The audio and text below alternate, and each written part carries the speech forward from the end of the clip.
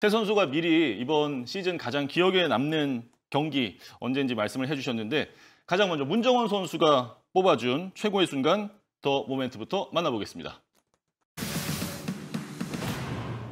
네, 자 챔피언 결정전 100% 확률이었던 흥국생명과 0%의 기적 도로공사 4세트 17대 19에서 옐레나의 서브로 시작된 랠리인데 문정원 선수 이 랠리가 좀 길어질 거라는 예감이 있었습니까? 아니요, 전혀 없었는데.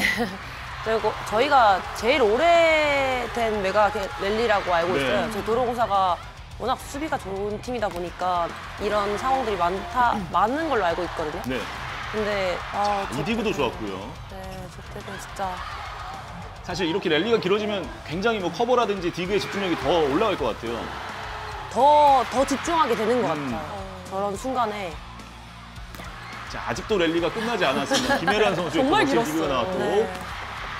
자, 여기서 유효 블록 받은 이후에 다시 반격. 이것도 끊지 않았습니다. 예. 결국 백어택으로 갔는데 자, 이것도 유효 블록 나왔고요. 라이트 백어택 막히면서 또 커버. 야, 안 끝나네요. 자, 아직도 많이 남았습니다. 왼쪽에서 킥오픈. 이것도 받아 올립니다. 누가 이 랠리를 가져갔을지 결국은 자 이걸 네 도로공사가 가져가면서 물론 지금 보시면 아시겠지만 랠리 끝나자마자 다 쓰러지거든요. 다들 쓰러지셨어요. 네, 문정원 선수 이 순간에 좀 느낌 어땠습니까? 아, 끝났다.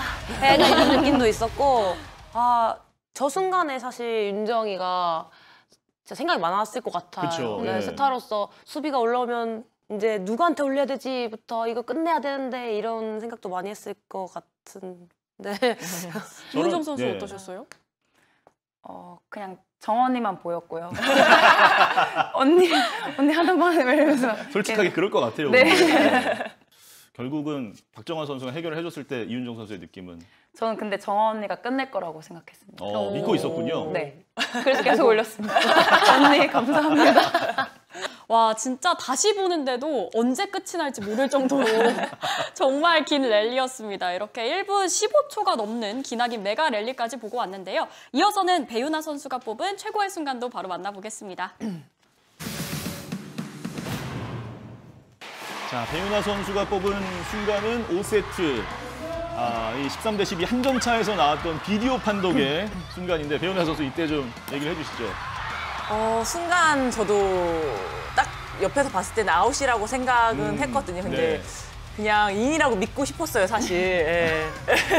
그래서 아, 판독하면 나오겠지, 나오겠지 했는데. 일단 주심 판독으로 인아웃을 갔는데 볼이 아웃. 아웃이었단 말이죠. 네. 이때 선수들의 좀 느낌은 어땠습니까? 아, 동점이 되는구나. 쉽지 않겠다라고는 생각은 했거든요. 그렇죠. 네. 자, 이렇게 아웃으로 13대 13 동점이 되는 상황이었는데 여기서 이제 김종민 감독님이 추가 판독을 네. 쓰셨어요. 이 추가 판독이 들어갔을 때 선수들은 솔직히 확신은 없었을 것 같아요. 네, 전혀 없었어요. 오. 근데 보니까 옐레나가 쓰리브럭을 뚫어 왔었던 것도 몰랐고 저게 또 저게 되네. 저 리플레이도 참 극적으로 이렇게 공이 싹 가면서 마지막에 살짝 흔들리는데 네. 너무나 극적인 순간이었던 것 같아요. 진짜. 제가 저 때 선수들이랑 파이팅을 안 하고 벤치로 뛰어와가지고 박종희 코치님이랑 끌어 안 하거든요. 어. 누가 한 거냐고 대체 판독을 너무 잘했다고. 자, 그래서 13 대 13이 될 뻔했는데 14 대 12로 어, 두 점 차로 앞서갈 수 있었던 판독이었고 어떻게 보면 이제 천국과 지옥을 잠깐 사이에 오간 느낌이었을 네. 것 같은데 어, 좀 이런 극적인 순간에 비디오 판독 정말 선수들도 가슴 졸였을 것 같습니다. 챔프전 5차전에 동점이 되느냐 아니면 어, 이 2점 차이로 벌어지냐의 순간이었던 것 같은데 음. 동점이 된다 됐었으면 사실 쉽지 않다고 생각은 했거든요. 근데 그게 또 2점 차로 벌어지면서 음. 네, 아, 좀- 김종민 감독님은 무슨 생각으로 사실 이 판독을 신청하셨을지 기사 보니까 아마 그냥 썼다고 하더라고요. 그냥 예, 참.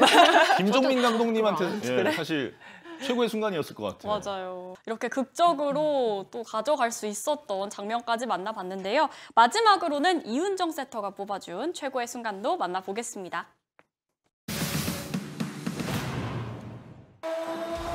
네, 이윤정 선수가 뽑은 최고의 순간. 예, 역시 이 장면이 빠질 수가 없죠. 14 대 13에서 마지막 우승을 결정지은 챔피언십 포인트. 이윤정 선수의 선택은 역시나 박정아였습니다. 어떤 생각이었나요? 어, 이제 리시브, 정원 언니 리시브가 너무 정확해서 이제 딱 정원 언니만 보였고요.